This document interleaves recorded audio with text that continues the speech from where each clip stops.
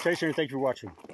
Um, I'm out here at the lake fishing, take the kayak out and do a little fishing.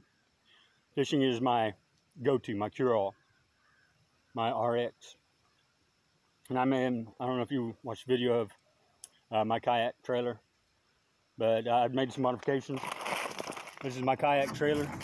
I've got a swivel caster on the front now, so now I don't have to carry it and pull it. All I have to do is pull it.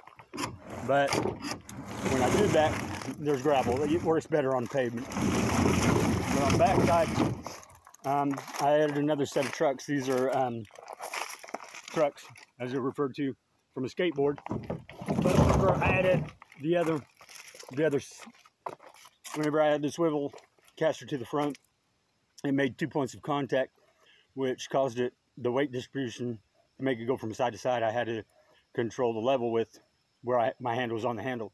Now, with the two trucks, the weight on the back is distributed to the outside, makes it more level.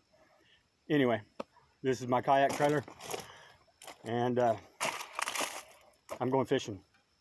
I got some news today, some bad news, and I needed some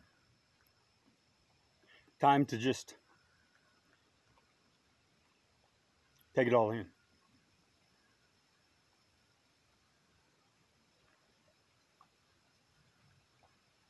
I'll make another video about that later on this evening.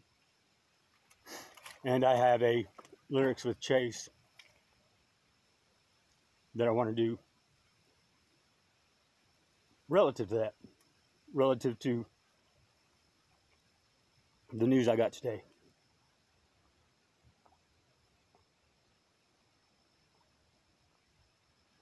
Anyway, as always, thanks for watching, and I'll talk to you later.